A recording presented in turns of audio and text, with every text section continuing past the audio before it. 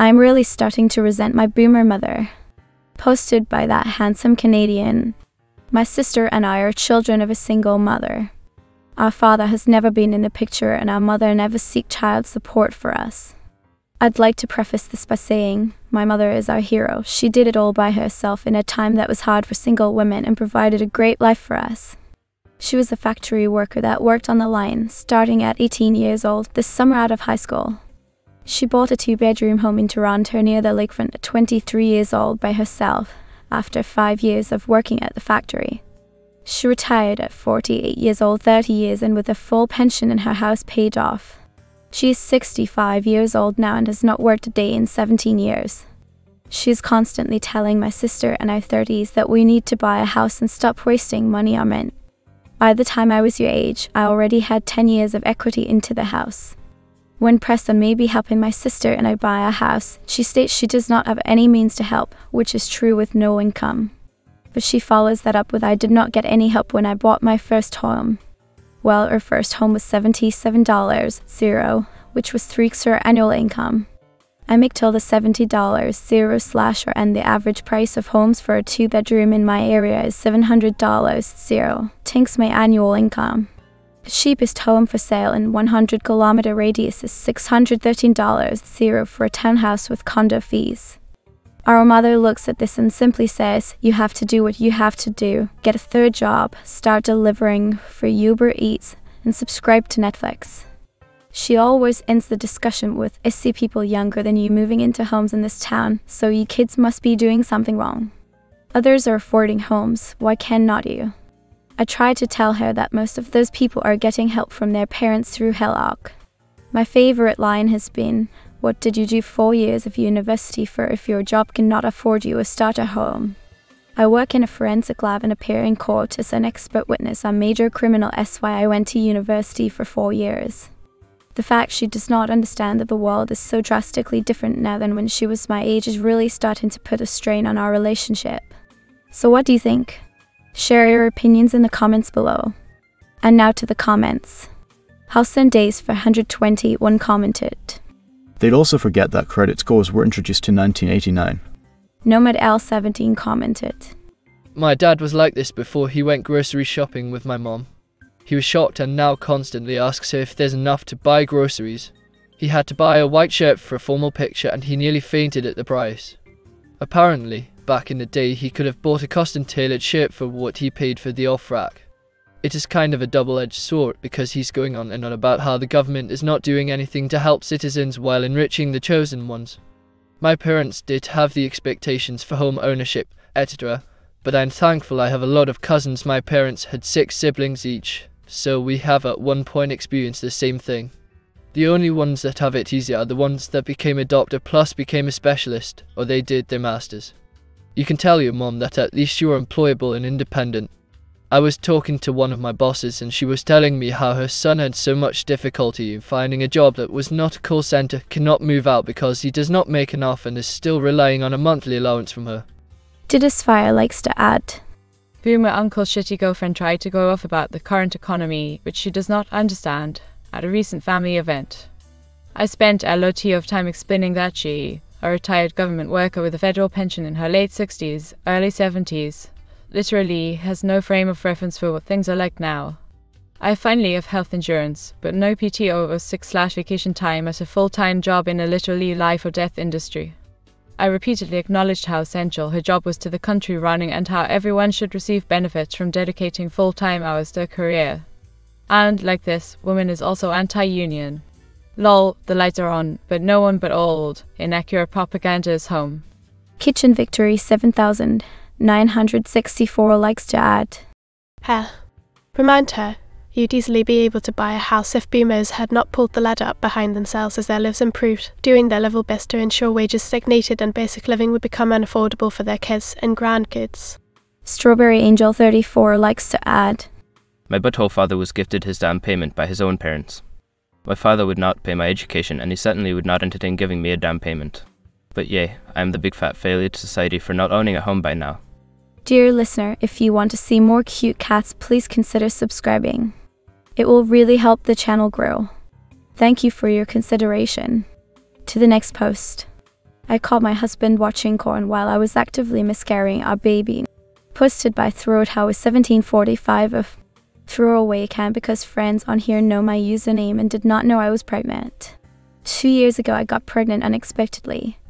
After the initial shock wore off, I was excited and my husband was accepting of it. However, I knew something was not right. I did not feel symptoms like I did with my first baby. Sure enough, around the eight week mark, I started bleeding. My OB gave me some misoprostol and told me to stay in bed while it passed. The experience was very painful, not only physically, but also mentally. I spent most of the time in bed, crying on and off, napping occasionally, and just waiting for it to be over. In that time, I noticed that my husband stayed very uninvolved. He did not come to check on me. He did not lie there with me and comfort me. He just kept a distance. At some point, when it was almost over, I quietly exited our bedroom to get a glass of water. Our bedroom at the time faced our living room, and when I came out, he was sitting on the couch and quickly slammed his laptop shut. Immediately suspicious. I got my water and asked if I could use the laptop. He hesitated but handed it over. I took it to the bedroom, where I found that for the bulk of the time I had been bleeding out our fetus, he had been watching corn and looking at nude photos of some Argentinian model. Ordinarily, I would not care about corn. Corn is not a big deal to me. But while I was actively having a miscarriage, it just was not the time. Coupled with the fact that he never came to check on me. Again, this was two years ago and it still hurts. I tried so hard to let it go for the sake of our family, but I am afraid it will be one of those things that will always be a cloud over us. I do not think I am capable of letting it go. I've never told a soul about it out of embarrassment, and I feel like this is my first step in deciding if I can stay with him or not. I think I just wanted to get it off my chest. Thank you for listening. And now to the comments. A comment from Jen in Miami. I'm so sorry for your loss and that experience as well. When I was in the ER being checked out, I did not know I was pregnant until I was miscarrying and did not know what was happening. My ex husband ignored me and was playing Candy Crush on his phone. Notice I said ex husband. Pay attention when people show you how little they care. Literal Cola likes to add. I just deleted a comment of mine because I feel like it gave away too much personal info. But I will tell you that I went through an almost identical situation, but with three miscarriages in a row. Somehow I did not leave right then, but I did eventually. If your gut is telling you to leave, do it. Final Blackberry commented. How someone treats you in your most vulnerable situation you will probably experience in your lifetime is how they truly feel about you. I am sorry you went through that. I experienced something similar, and it was the loneliest I have ever felt in my life. You deserve better. Your husband lacks self control. Moonglade Ladybug likes to add. You had a lot of grace to have stayed with him. That night would have been the last time I ever acknowledged him again if it were me. My God, you deserve better. OP replied. Thank you. Yes, I feel like I've matured a lot in the past couple of years. I ended the marriage a very young, naive girl, but I've grown a lot and realized sometimes suffering is not worth holding on to something just because you feel like it is what is expected of you. To the next post. Was told that I am too ugly and old to be gay. Posted by Quantifolian.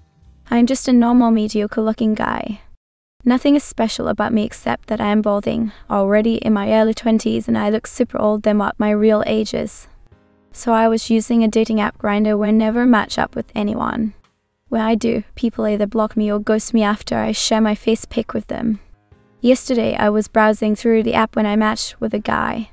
He literally told you, you are ugly and blocked me instantly. Another guy messaged, get off this platform, grandpa. This kind of incident happens several times with me, where people sometimes are mean and sometimes they are being humble and say that they are not interested in me. Another time, a guy invited me to his live with his friends, but he ended after I did my face reveal. I do not know why. I am fine with rejections. I take them gracefully, but it hurts when someone says something mean. When I posted my picture in social media, it was told that I should stop looking for a relationship with that old face of mine. My style is too old and ugly. Now I really feel insecure about my body. I hate it because I am not anything like hot looking models from Instagram. I do not know where to start now. And now to the comments. A comment from Dubs and 14 years. To hell with those trolls. I truly believe there is someone for everyone. May I make a suggestion? Have you thought about shaving your entire head? Do you think you would benefit from a makeover? OP answered.